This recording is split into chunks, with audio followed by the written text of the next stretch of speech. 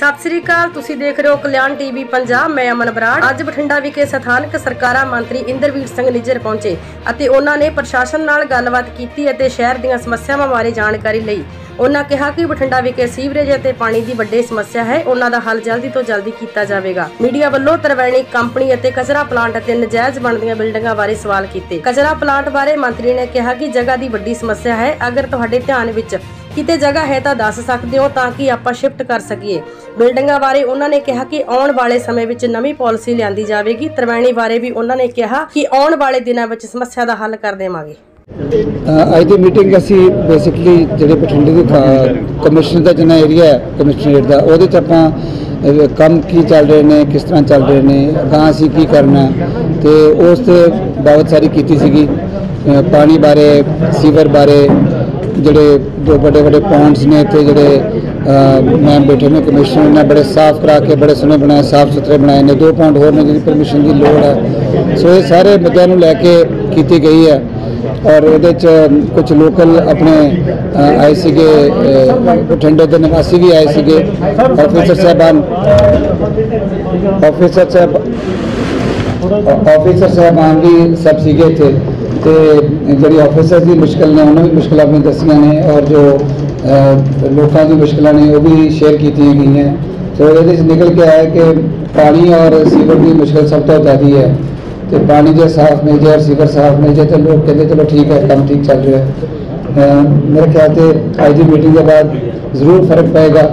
ਤੀਜੀ ਗੱਲ ਹੈ ਕਿ ਕੋਈ ਵੀ ਕੰਮ ਕਰਨਾ ਹੋਵੇ ਤੇ ਰੈਵਨਿਊ ਦੀ ਖਰਚ ਦੀ ਲੋੜ ਪੈਂਦੀ ਹੈ ਪੈਂਦੀ ਹੈ। ਸੋ ਅਸੀਂ ਰੈਵਨਿਊ ਵਧਾਉਣ ਦੀ ਵੀ ਗੱਲ ਕੀਤੀ ਹੈ। ਔਰ ਬਹੁਤ ਸਾਰੀ ਪ੍ਰਾਪਰਟੀਆਂ ਨੇ ਜਿਹੜੀਆਂ ਸਾਨੂੰ ਨਹੀਂ ਦੇ ਰਹੀਆਂ ਟੈਕਸ ਨਹੀਂ ਦੇ ਰਹੀਆਂ ਕਿਉਂਕਿ ਉਹ ਸਾਡੇ ਰਡਾਰ ਤੇ ਨਹੀਂ ਹੈਗੀਆਂ। ਸੋ ਉਹਦੇ ਵਿੱਚ ਕੋਈ ਸਰਵੇ ਹੋਇਆ ਸੀ, ਮੈਂ 13 14 ਚ ਹੋਇਆ ਸਰਵੇ ਲੇਕਿਨ ਉਹਦੇ ਲਈ ਪ੍ਰਾਪਰਟੀ ਨੂੰ ਨੰਬਰ ਨਹੀਂ ਦਿੱਤੇ ਗਏ। ਸੋ ਅਸੀਂ ਫਿਰ ਦੁਬਾਰਾ ਸਰਵੇ ਕਰਾਂਗੇ ਇਹਦੇ ਚ। ਬਾਕੀ ਸ਼ਹਿਰਾਂ ਸ਼ੁਰੂ ਕਰਤਾ। ਬਠਿੰਡੇ ਵਿੱਚ ਡਿਸਕਸ ਕੀਤਾ ਤੇ ਵੀ ਸ਼ੁਰੂ ਕਰਾਂਗੇ। 3D ਸਰਵੇ ਕਰਾਂਗੇ ਪੂਰਾ। ਹਰ ਇੱਕ ਪ੍ਰਾਪਰਟੀ ਮੈਪਿੰਗ ਹੋਏਗੀ ਉਹਦੀ। ਔਰ ਪ੍ਰਾਪਰਟੀ ਮੈਪ ਕਰਕੇ ਉਹਨੂੰ ਹਰ ਇੱਕ ਨੰਬਰ ਦਿੱਤਾ ਜਾਏਗਾ। ਔਰ ਲਿੰਕ ਲਿੰਕ ਕਰਾਂਗੇ, ਆਧਾਰ ਨਾਲ ਲਿੰਕ ਕਰਾਂਗੇ, ਟੈਲੀਫੋਨ ਨਾਲ। ਤਾਂ ਕਿ ਇੱਕ ਤੇ ਜੇ ਕੋਈ ਉਹਨਾਂ ਬਿੱਲ ਵਗੈਰਾ ਦੇਣੇ ਹੋਣ ਉਹ ਵੀ ਕੰਮ ਬਹੁਤ ਸੌਖਾ ਹੋ ਜਾਏਗਾ। ਔਰ ਦੂਜੀ ਗੱਲ ਹੈ ਜੇ ਸਾਨੂੰ ਟੈਕਸ ਕਲੈਕਸ਼ਨ ਜਿਹੜੀ ਉਹ ਵੀ ਬੜੀ ਸੌਖੀ ਹੋ ਜਾਏਗੀ। ਇਸ ਬਾਕੀ ਮੈਮ ਨੇ ਦੱਸਿਆ, ਜਿਸ ਤਰ੍ਹਾਂ ਕਮਿਸ਼ਨਰ ਮੈਮ ਨੇ ਦੱਸਿਆ ਕਿ ਇਹਨਾਂ ਨੇ ਬੜਾ ਵੱਡਾ ਇੱਕ ਮੈਗਾ ਮੇਲਾ ਕੀਤਾ ਸੀ ਜਿਹਦੇ 75 ਲੋਕ ਕੰਪਲੇਂਟਸ ਲੈ ਕੇ ਆਏ ਸੀ ਕਿ 43 ਉਸੇ ਮੌਕੇ ਤੇ ਨਿਪਟਾਤੀਆਂ ਸੀਗੀਆਂ। ਕੁਝ ਜਿਹੜੀਆਂ ਸੀਗੀਆਂ ਉਹ ਇਮੀਡੀਏਟਲੀ ਨਿਬੜਦੀ ਸੀਗੀਆਂ, ਜਿਵੇਂ ਸੀਵਰ ਦੀ ਸੀਗੀਆਂ, ਪਾਣੀ ਦੀ ਸੀਗੀਆਂ, ਉਹ ਟਾਈਮ ਨਾਲ ਹੋਣੀਆਂ ਸੀਗੀਆਂ। ਸੋ ਉਹ ਵੀ ਕੀਤਾ। ਡੀਸੀ ਸਾਹਿਬ ਆ ਛੁੱਟੀ ਤੇ ਸੀਗੇ ਤੇ ਫਾਜ਼ਿਲਕੇ ਤੋਂ ਐਡੀਸ਼ਨਲ ਚਾਰਜ ਸੀਗਾ ਡੀਸੀ ਸਾਹਿਬ ਕੋ ਇਹ ਵੀ ਉੱਥੋਂ ਚੱਲ ਕੇ ਆਏ। ਇਹਨਾਂ ਤੋਂ ਕੈਸੇ ਨਾ ਆਏ ਪਰ ਇਹਨਾਂ ਕਹਿੰਦੇ ਨਾ ਆਉਣਾ ਹੋਣਾ। ਤਾਂ ਬੜੀ ਮਿਹਰਬਾਨੀ ਇਹਨਾਂ ਦੀ ਜਦੋਂ ਚੱਲ ਕੇ ਆਏ ਨੇ। ਔਰ ਇਹਨਾਂ ਵੀ ਆਪਣਾ ਇਨਪੁਟ ਦਿੱਤੇ ਨੇ। ਇੰਪਰੂਵਮੈਂਟ ਦਾ ਬਹੁਤ ਸਕੋਪ ਹੈਗਾ। ਅਸੀਂ ਇੰਪਰੂਵਮੈਂਟ ਕਰਾਂਗੇ।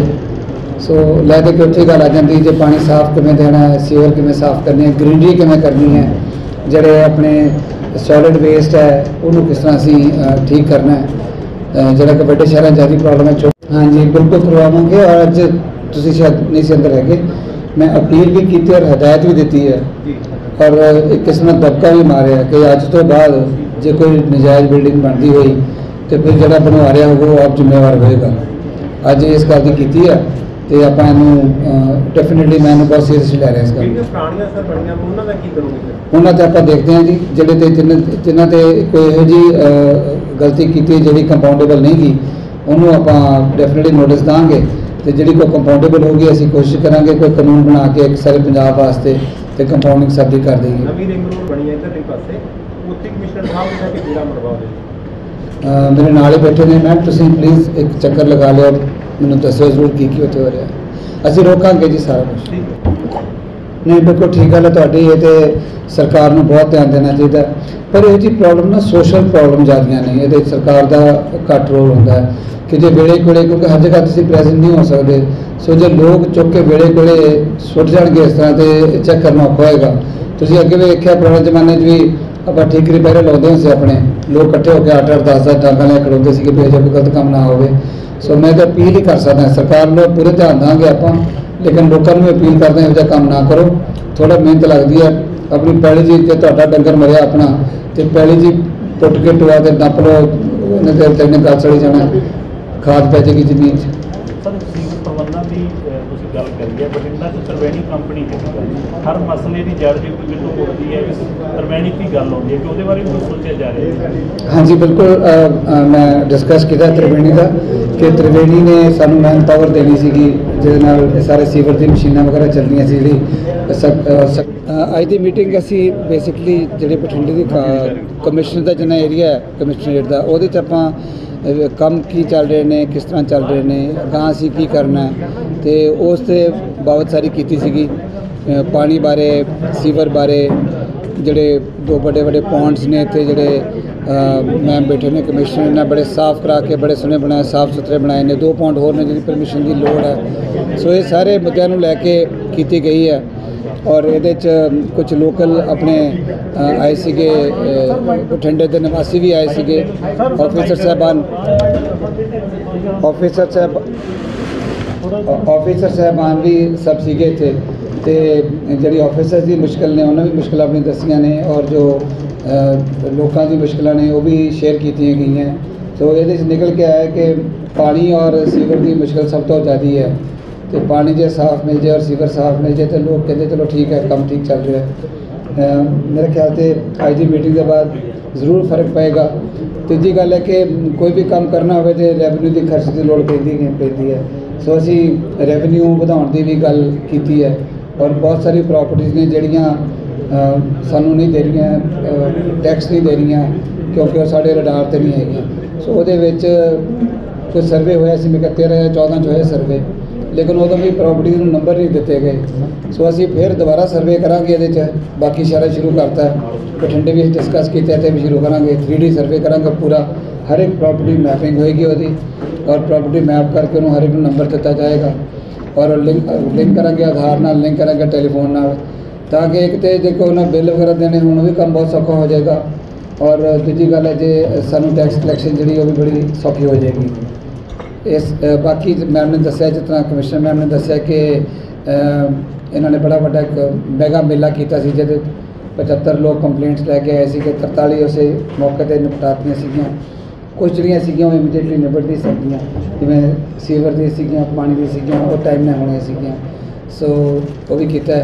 ਡੀਸੀ ਸਾਹਿਬ ਆ ਛੁੱਟੀ ਤੇ ਸੀਗੇ ਤੇ ਫਾਜ਼ਿਲਕੇ ਤੋਂ ਐਡੀਸ਼ਨਲ ਚਾਰਜ ਸੀਗਾ ਡੀਸੀ ਸਾਹਿਬ ਕੋ ਇਹ ਵੀ ਉੱਥੋਂ ਚੱਲ ਕੇ ਆਏ। ਇਹਨਾਂ ਨੂੰ ਕਿਹਾ ਸੀ, ਨਾ ਆਇਓ, ਪਰ ਇਹਨਾਂ ਕਹਿੰਦੇ ਮੈਂ ਆਉਣਾ ਹੀ ਆਉਣਾ।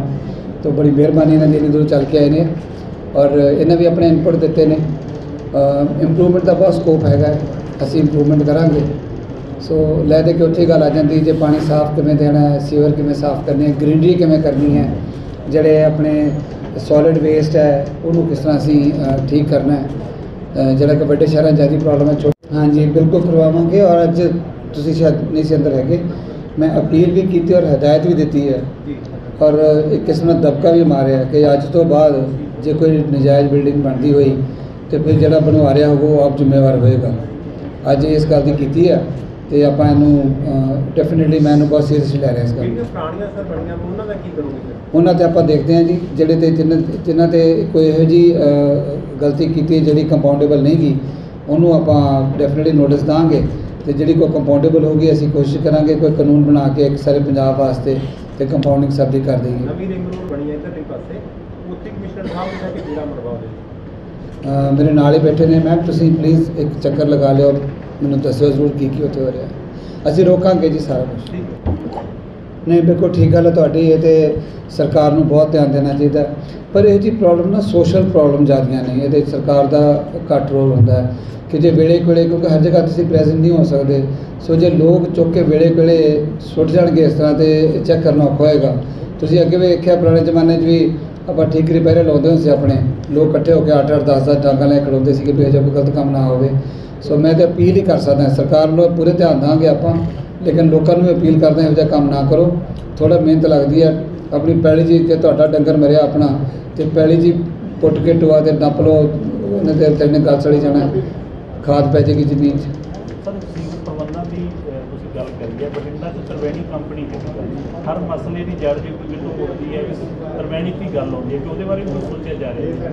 ਹਾਂਜੀ, ਬਿਲਕੁਲ ਮੈਂ ਡਿਸਕਸ ਕੀਤਾ ਤ੍ਰਿਵੇਣੀ ਦਾ ਕਿ ਤ੍ਰਿਵੇਣੀ ਨੇ ਸਾਨੂੰ ਮੈਨ ਪਾਵਰ ਦੇਣੀ ਸੀਗੀ, ਜਿਹਦੇ ਨਾਲ ਇਹ ਸਾਰੇ ਸੀਵਰ ਦੀ ਮਸ਼ੀਨਾਂ ਵਗੈਰਾ ਚੱਲਦੀਆਂ ਸੀ, ਜਿਹੜੀ ਸਕਸ਼ਨ ਮਸ਼ੀਨ ਹੁੰਦੀ ਹੈ ਤੇ ਦੂਜੀ ਜੈਟਿੰਗ ਮਸ਼ੀਨ ਹੁੰਦੀ ਹੈ।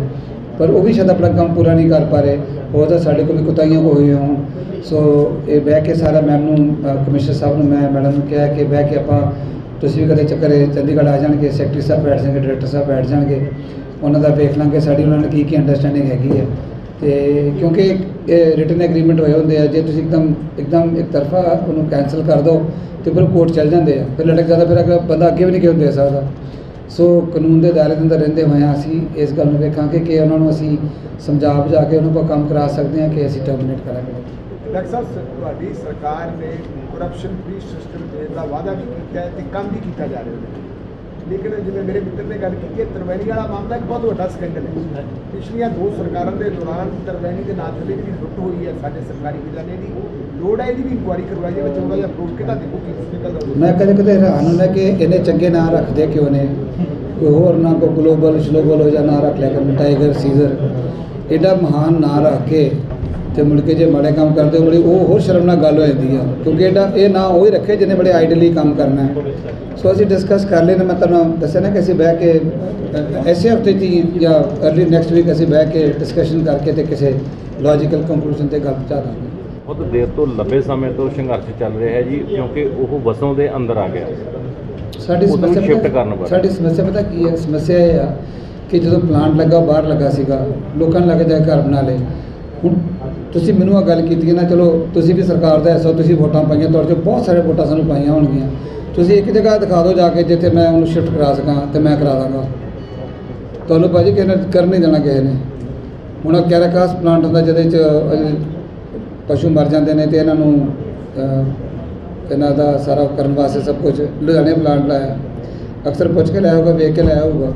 ਉਹਦਾ ਲੱਗਦਾ 2-4 ਸਾਲ 5 ਸਾਲ ਲੱਗੇ ਹੁਣ ਹੁਣ ਵਸੋਂ ਹੋਰ ਵੱਧ ਗਈ ਉੱਥੇ ਲੋਕੀ ਉਹਨੂੰ ਚੱਲਣ ਚੱਲ ਨਹੀਂ ਕਰਨ ਦੇਣਦੇ ਇਹ ਬੜੀ ਵੱਡੀ ਸੋਸ਼ਲ ਪ੍ਰੋਬਲਮ ਸਾਡੀਆਂ ਬਹੁਤ ਵੱਡੀਆਂ ਜੀ ਸਰ ਹੱਡਾਂ ਰੋੜੀਆਂ ਹੀ ਖਤਮ ਹੋ ਗਈਆਂ। ਹੱਡਾਂ ਰੋੜੀਆਂ ਲੋਕਾਂ ਨੇ ਵੜ ਲੀਆਂ ਭਾਜੀ। ਪੰਚਾਇਤੀ ਜ਼ਮੀਨਾਂ ਲੋਕਾਂ ਵੜ ਲੀਆਂ 50 50 60 60 ਕਿਲੇ ਵੱਡੇ ਪਿੰਡਾਂ ਜਗ੍ਹਾ ਖਾਲੀ ਸ਼ਾਮਲੜ ਪਈ ਹੁੰਦੀ ਸਾਰੀ ਵੜ ਗਏ ਲੋਕੀ ਰਜਿਸਟਰੀਆਂ ਕਰਾ ਗਏ ਆ ਲੋਕੀ ਰਜਿਸਟਰੀਆਂ ਕਰ ਗਏ ਆ। ਸੋ ਬਹੁਤ ਅਸੀਂ ਮਾੜੇ ਤਰੀਕੇ ਨਾਲ ਦੇਸ਼ ਨੂੰ ਚਲਾਇਆ। ਤੇ ਹੁਣ ਅਸੀਂ ਰਲ ਮਿਲ ਕੇ ਸਾਰੇ ਨਾ ਇਹਨੂੰ ਮਤਲਬ ਕਿ ਇਕੱਠੇ ਹੋ ਕੇ ਚਲਾਈ ਕਿਸਮ ਦੇ। ਤੁਸੀਂ ਸਾਰੇ ਵੈਲ ਮੀਨਿੰਗ ਆ ਮੈਂ ਸਮਝਦਾ ਤੁਹਾਡੇ ਤੁਸੀਂ ਤੁਹਾਡੇ ਸਵਾਲ ਬੜੇ ਜੈਂਟਲ ਜਿਹੇ ਬੜੇ ਸੋਹਣੇ ਜਿਹੇ ਬੜੇ ਪਿਆਰੇ ਜਿਹੇ ਸਵਾਲ ਆ। ਮਾਲਵੇ ਦੇ ਲੋਕ ਵਹੀ ਮੈਂ ਹਿਸਾਬ ਲੈ ਕੇ ਤੁਹਾਡੇ ਠਹਿਰੇ ਹੋਏ ਨੇ। ਤੇ ਆਹੀ ਕਿਤੇ ਅੰਮ੍ਰਿਤਸਰ ਝੋਲਦੀ ਹੁੰਦੀ ਜਿੰਨੇ ਤੱਕ ਉਹਨਾਂ ਮੈਨੂੰ ਉਤਰੇ ਟੇਡੇ ਬੇਟੇ ਮੈਨੂੰ ਕੀਤਾ ਨਾ ਜਾਵੇ ਤਾਂ। ਸਵਾਲ ਪੁੱਛ ਪੁੱਛ ਕੇ ਉਹਨਾਂ ਨੇ।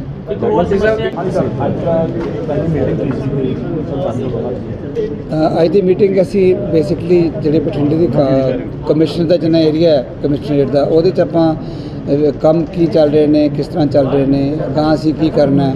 ਤੇ ਉਸ ਤੇ ਬਾਬਤ ਸਾਰੀ ਕੀਤੀ ਸੀਗੀ। ਅ, ਪਾਣੀ ਬਾਰੇ ਸੀਵਰ ਬਾਰੇ ਜਿਹੜੇ ਦੋ ਵੱਡੇ ਵੱਡੇ ਪੌਂਡਸ ਨੇ ਇੱਥੇ ਜਿਹੜੇ ਮੈਮ ਬੈਠੇ ਨੇ ਕਮਿਸ਼ਨਰ ਨੇ ਬੜੇ ਸਾਫ਼ ਕਰਾ ਕੇ ਬੜੇ ਸੋਹਣੇ ਬਣਾਏ ਸਾਫ਼ ਸੁਥਰੇ ਬਣਾਏ ਨੇ। ਦੋ ਪੌਂਡ ਹੋਰ ਨੇ ਜਿਹਦੀ ਪਰਮਿਸ਼ਨ ਦੀ ਲੋੜ ਹੈ। ਸੋ ਇਹ ਸਾਰੇ ਮੁੱਦਿਆਂ ਨੂੰ ਲੈ ਕੇ ਕੀਤੀ ਗਈ ਹੈ। ਔਰ ਇਹਦੇ ਚ ਕੁਝ ਲੋਕਲ ਆਪਣੇ ਆਏ ਸੀਗੇ ਬਠਿੰਡੇ ਦੇ ਨਿਵਾਸੀ ਵੀ ਆਏ ਸੀਗੇ। ਆਫੀਸਰ ਸਾਹਿਬਾਨ ਆਫੀਸਰ ਸਾਹਿਬ ਆਫੀਸਰ ਸਾਹਿਬਾਨ ਵੀ ਸਭ ਸੀਗੇ ਇੱਥੇ।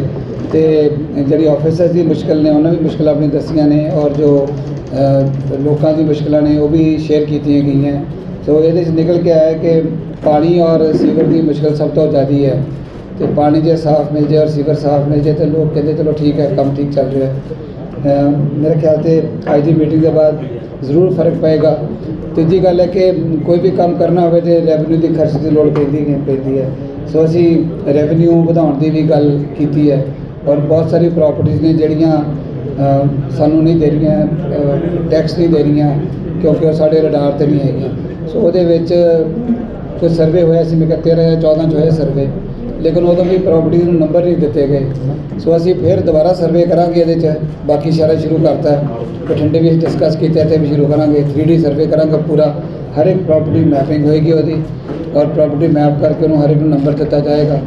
ਔਰ ਲਿੰਕ ਲਿੰਕ ਕਰਾਂਗੇ, ਆਧਾਰ ਨਾਲ ਲਿੰਕ ਕਰਾਂਗੇ ਟੈਲੀਫੋਨ ਨਾਲ। ਤਾਂ ਕਿ ਇੱਕ ਤੇ ਜੇ ਕੋਈ ਉਹਨਾਂ ਬਿੱਲ ਵਗੈਰਾ ਦੇਣੇ ਹੁਣ, ਉਹ ਵੀ ਕੰਮ ਬਹੁਤ ਸੌਖਾ ਹੋ ਜਾਏਗਾ।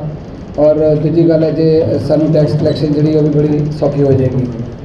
ਇਸ ਬਾਕੀ ਮੈਮ ਨੇ ਦੱਸਿਆ ਜਿਸ ਤਰ੍ਹਾਂ ਕਮਿਸ਼ਨਰ ਮੈਮ ਨੇ ਦੱਸਿਆ ਕਿ ਇਹਨਾਂ ਨੇ ਬੜਾ ਵੱਡਾ ਇੱਕ ਮੈਗਾ ਮੇਲਾ ਕੀਤਾ ਸੀ, ਜਿਹਦੇ 75 ਲੋਕ ਕੰਪਲੇਂਟਸ ਲੈ ਕੇ ਆਏ ਸੀ ਕਿ 43 ਉਸੇ ਮੌਕੇ ਤੇ ਨਿਪਟਾਤੀਆਂ ਸੀਗੀਆਂ। ਕੁਝ ਜਿਹੜੀਆਂ ਸੀਗੀਆਂ, ਉਹ ਇਮੀਡੀਏਟਲੀ ਨਿਬੜ ਨਹੀਂ ਸਕਦੀਆਂ ਜਿਵੇਂ ਸੀਵਰ ਦੀ ਸੀਗੀਆਂ, ਪਾਣੀ ਦੀ ਸੀਗੀਆਂ, ਉਹ ਟਾਈਮ ਨਾਲ ਹੋਣੀਆਂ ਸੀਗੀਆਂ। ਸੋ ਉਹ ਵੀ ਕੀਤਾ। ਡੀਸੀ ਸਾਹਿਬ ਅੱਜ ਛੁੱਟੀ ਤੇ ਸੀਗੇ ਤੇ ਫਾਜ਼ਿਲਕੇ ਤੋਂ ਐਡੀਸ਼ਨਲ ਚਾਰਜ ਸੀਗਾ ਡੀਸੀ ਸਾਹਿਬ ਕੋ ਇਹ ਵੀ ਉੱਥੋਂ ਚੱਲ ਕੇ ਆਏ। ਇਹਨਾਂ ਨੂੰ ਕਿਹਾ ਸੀ, ਨਾ ਆਇਓ ਪਰ ਇਹਨਾਂ ਕਹਿੰਦੇ ਮੈਂ ਆਉਣਾ ਹੀ ਆਉਣਾ। ਤਾਂ ਬੜੀ ਮਿਹਰਬਾਨੀ ਇਹਨਾਂ ਦੀ, ਇੰਨੀ ਦੂਰੋਂ ਚੱਲ ਕੇ ਆਏ ਨੇ। ਔਰ ਇਹਨਾਂ ਵੀ ਆਪਣੇ ਇਨਪੁਟ ਦਿੱਤੇ ਨੇ। ਇੰਪਰੂਵਮੈਂਟ ਦਾ ਬਹੁਤ ਸਕੋਪ ਹੈਗਾ। ਅਸੀਂ ਇੰਪਰੂਵਮੈਂਟ ਕਰਾਂਗੇ। ਸੋ ਲੈ ਦੇ ਕੇ ਉੱਥੇ ਗੱਲ ਆ ਜਾਂਦੀ, ਜੇ ਪਾਣੀ ਸਾਫ਼ ਕਿਵੇਂ ਦੇਣਾ ਹੈ ਸੀਵਰ ਕਿਵੇਂ ਸਾਫ਼ ਕਰਨੀ ਹੈ ਗ੍ਰੀਨਰੀ ਕਿਵੇਂ ਕਰਨੀ ਹੈ, ਜਿਹੜੇ ਆਪਣੇ ਸੋਲਿਡ ਵੇਸਟ ਹੈ, ਉਹਨੂੰ ਕਿਸ ਤਰ੍ਹਾਂ ਅਸੀਂ ਠੀਕ ਕਰਨਾ ਹੈ। ਜਿਹੜਾ ਕਿ ਵੱਡੇ ਸ਼ਹਿਰਾਂ 'ਚ ਜ਼ਿਆਦਾ ਪ੍ਰੋਬਲਮ ਹੈ, ਛੋਟੇ ਸ਼ਹਿਰਾਂ 'ਚ ਪ੍ਰੋਬਲਮ ਉਹਦੀ ਘੱਟ ਹੈ। ਇਹ ਮੇਨ ਮੁੱਦੇ ਸਾਡੇ ਸੀਗੇ। ਕੱਲ ਇੱਥੇ ਬਠਿੰਡੇ ਤੋਂ ਸਾਡੇ ਸਾਬਕਾ ਐਮਐਲਏ ਹੈਗੇ ਉਹਨਾਂ ਨੇ ਮਨਪ੍ਰੀਤ ਬਾਦਲ ਦੇ ਖਿਲਾਫ ਟੈਂਡਰ ਇਸ਼ੂ ਦੇ ਵਿੱਚ ਇੱਕ ਵਿਜੀਲੈਂਸ ਨੂੰ ਕੰਪਲੇਂਟ ਕੀਤੀ ਹੈ। ਚਲੋ ਉਹ ਤੁਹਾਡੇ ਨਾਲ ਰਿਲੇਟਡ ਨਹੀਂ ਪਰ ਉਹਨਾਂ ਨੇ ਇੱਕ ਮਾਨ ਸਰਕਾਰ ਤੇ ਇਹ ਸਵਾਲ ਉਠਾਇਆ ਕਿ ਭਗਵੰਤ ਮਾਨ ਤੇ ਮਨਪ੍ਰੀਤ ਬਾਦਲ ਦੀ ਆਪਸ ਦੋਸਤੀ ਰਹੀ ਹੈ। ਉਹ ਕਹਿੰਦੇ ਉਹਨਾਂ ਨੇ ਅਪੀਲ ਕੀਤੀ ਹੈ ਕਿ ਭਗਵੰਤ ਮਾਨ ਸਾਹਿਬ ਆਪਦੀ ਮਨਪ੍ਰੀਤ ਬਾਦਲ ਨਾਲ ਦੋਸਤੀ ਨਾਲ ਨਿਭਾ ਜਾਣ। ਇਹ ਦੋਸਤੀ ਆਪਣੇ ਥਾਂ ਸਿਆਸਤ ਆਪਣੇ ਥਾਂ ਤੇ ਇਹ ਆਪਣੇ ਥਾਂ ਇਹ ਸਭ ਸਭ ਸਭ ਗੱਲਾਂ ਆਪਣੇ ਥਾਂ ਚੱਲਣਗੀਆਂ। ਹਾਂਜੀ। ਇਹ ਤੇ ਇਹ ਨਹੀਂ ਕੁਝ ਨਹੀਂ ਹੋਏਗਾ। ਇਹ ਠੀਕ ਹੋਏਗਾ ਜੀ। ਉਹ ਟਾਈਮ ਉਦੋਂ ਸੀਗਾ, ਹੁਣ ਟਾਈਮ ਹੋ। ਰਿਹਾ ਮਾਨ ਸਾਹਿਬ ਤੇ ਦੇਖੋ, ਮਾਨ ਸਾਹਿਬ ਦੋ ਕੰਮਾਂ ਵਾਸਤੇ ਜਾਣੇ ਜਾਂਦੇ ਆ। ਇੱਕ ਇਮਾਨਦਾਰੀ ਵਾਸਤੇ, ਇੱਕ ਮਿਹਨਤ ਵਾਸਤੇ। ਹੈ ਨਾ ਹਾਰਡ ਵਰਕਿੰਗ ਨੇ ਔਰ ਇਮਾਨਦਾਰ ਨੇ। ਇਮਾਨਦਾਰੀ ਬਾਰੇ ਕੋਈ ਡਾਊਟ ਨਹੀਂ ਹੁੰਦਾ ਹੈਗਾ ਹੈ ਨਾ ਤੇ ਦੂਜੇ ਬੰਨੇ ਤੁਹਾਨੂੰ, ਜੋ ਚੱਲਣ ਦਾ ਤੁਹਾਨੂੰ ਸਾਨੂੰ ਪਤਾ ਹੁੰਦਾ ਕਿਤਨਾ ਉੱਥੇ ਲੋਕਲ ਤੁਹਾਡੇ ਕਿਤਨਾ ਜੋ ਰਿਫਾਈਨਰੀ ਬਣਦੀ ਸੀ, ਤੇ ਰੇਤ ਤੇ ਬਜਰੀ ਆਉਂਦੀ, ਉਹ ਤੇ ਟੈਕਸ ਲੱਗਦਾ ਸੀਗਾ, ਗੁੰਡਾ ਟੈਕਸ ਲੱਗਦਾ ਸੀਗਾ। ਕੌਣ ਲਾਉਂਦਾ ਸੀ, ਕੌਣ ਨਹੀਂ ਸੀ ਲਾਉਂਦਾ, ਮੈਂ ਨਹੀਂ ਕਰਦਾ ਗੱਲ ਤੁਹਾਨੂੰ ਸਭ ਨੂੰ ਪਤਾ ਹੀ, ਮੈਂ ਕੀ ਗੱਲ ਕਰਨੀ ਹੈ? ਤਾਂ ਦੋ ਤਾਂ ਮੁਕਾਬਲੇ ਕੋਈ ਨਹੀਂ ਹੈਗਾ ਮਤਲਬ ਕਿੱਥੇ ਉਹ ਤੇ ਕਿੱਥੇ ਉਮੀਦ ਕੀਤੀ ਜਾਂਦੀ ਗੱਲਾਂ ਕਰਨੀਆਂ ਹੋਰ ਗੱਲ ਹੁੰਦੀਆਂ ਹੈ ਤੇ ਕੰਮ ਕਰਨਾ ਹੋਰ ਗੱਲ ਹੁੰਦੀ ਹੈ। ਨਗਰ ਪੰਚਾਇਤਾਂ ਵਾਲਾ ਜਿਹੜਾ ਮੈਂ ਦੱਸਿਆ ਸੀ ਇਹ ਦੇਖੋ ਇਸ ਤਰ੍ਹਾਂ ਹੁੰਦੀ ਹੈ ਕਿ ਲੋਕਾਂ ਦੀ ਡਿਮਾਂਡ ਆ ਕਿਉਂਕਿ ਡੈਮੋਕ੍ਰੇਸੀ ਹੈ। ਸੋ ਅਸੀਂ ਤਾਂ- ਜੇ ਹੁਣ ਲੋਕ ਕਹਿਣਗੇ ਨਹੀਂ ਜੀ ਅਸੀਂ ਤੇ ਨਗਰ ਪੰਚਾਇਤ ਨੇ ਅਸੀਂ ਗ੍ਰਾਮ ਪੰਚਾਇਤ ਰੱਖਣੀ ਆ। ਤੇ ਅਸੀਂ ਗ੍ਰਾਮ ਪੰਚਾਇਤ ਕਰ ਦਾਂਗੇ ਦੋਵਾਂ ਦੇ ਫਾਇਦੇ ਨੁਕਸਾਨ ਤੇ ਤੁਹਾਨੂੰ ਪਤਾ ਹੈਗੇ ਨੇ। ਗ੍ਰਾਮ ਪੰਚਾਇਤ ਜਿਵੇਂ ਐਮਐਲਏ ਸਾਹਿਬ ਦੱਸ ਰਹੇ ਸੀਗੇ ਕਿ ਕਈ ਬੱਚਿਆਂ ਨੂੰ ਨੰਬਰ ਐਕਸਟਰਾ ਮਿਲ ਜਾਂਦੇ ਨੇ ਤੇ ਨੰਬਰ ਐਕਸਟਰਾ ਮਿਲਣਾ ਨੌਕਰੀ ਮਿਲ ਜਾਂਦੀ ਉਹ ਨਾ ਮਿਲਣ ਨਾਲ ਨੌਕਰੀਆਂ ਨਹੀਂ ਮਿਲੀਆਂ। ਦੇ ਦੂਜੇ ਨੰਬਰ ਤੇ ਮਨਰੇਗਾ ਵਗੈਰਾ ਜਿਹੜੇ ਨੇ, ਇਹ ਪਿੰਡਾਂ 'ਚ ਚੱਲਦੀ ਹੈ ਤੇ ਸ਼ਹਿਰਾਂ 'ਚ ਨਹੀਂ ਚੱਲਦੀ। ਸੋ ਦੋ ਨੁਕਸਾਨ ਹੈਗੇ ਨੇ। ਲੇਕਿਨ ਦੂਜੇ ਬੰਨੇ ਫਾਇਦਾ ਇਹ ਆ ਕਿ ਲਾਈਟਾਂ ਲੁੱਟਣ ਲੱਗ ਜਾਂਦੀਆਂ ਨੇ, ਕੋਈ ਸੜਕਾਂ ਠੀਕ ਬਣ ਜਾਂਦੀਆਂ ਨੇ ਕੋਈ ਮਾੜਾ ਮੋਟਾ ਕਾਇਦਾ ਕਾਨੂੰਨ ਜਿਹਾ ਬਣ ਜਾਂਦਾ। ਤਾਂ ਫਾਇਦੇ ਨੁਕਸਾਨ ਦੋਵੇਂ ਬੰਨੇ ਹੈਗੇ ਨੇ। ਲੋਕਾਂ ਨੇ ਵੇਖਣਾ ਕੀ ਚਾਹੁੰਦੇ, ਕੀ ਨੇ ਜਿਸ ਤਰ੍ਹਾਂ ਚਾਹਣਗੇ ਆਪਾਂ ਉਸ ਤਰ੍ਹਾਂ ਹੀ ਕਰ ਦਾਂਗੇ।